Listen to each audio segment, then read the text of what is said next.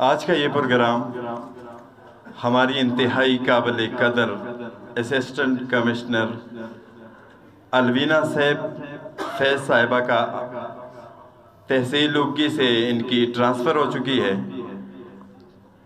तो आज इनके लिए अलविदाई पार्टी रखी गई है।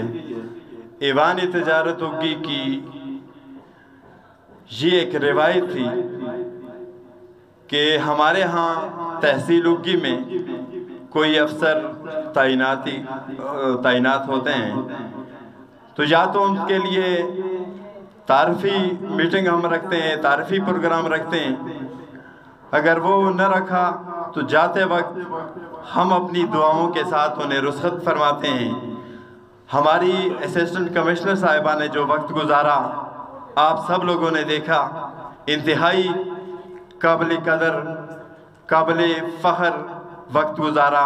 गो कि उन्होंने बहुत कम वक्त गुजारा, लेकिन आज वो जा रही हैं तो उनका किरदार, उनकी मेहनत, उनकी लगन हमें मजबूर कर रही थी कि उनके लिए हमने आज की अलविदाई तकरीब रखी गई है।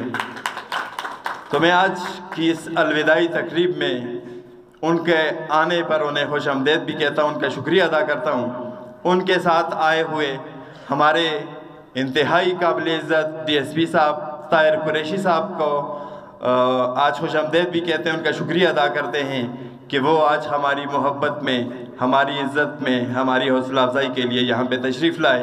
उनके उनके साथ हमारे एस एच ओ साहब का हम शुक्रिया अदा करते हैं।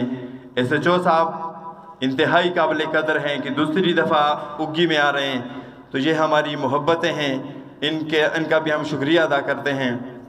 असिस्टेंट कमिश्नर साहिबा का हम शुक्रिया भी अदा करते हैं और आज ये एक दुआया तकरीब भी है और अलविदाई तकरीब भी है।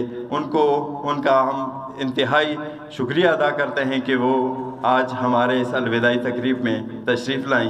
उनके साथ काजी खालिद महमूद साहब, जो कि डीआरसी के एक अहम किरदार, वाइस चेयरमैन हैं, उनका भी शुक्रिया अदा करते हैं। यहाँ पे आए हुए तमाम यूनियन के सदूर अहदेदारान आप सबका शुक्रिया कि आप इस तकरीब में तशरीफ़ लाए।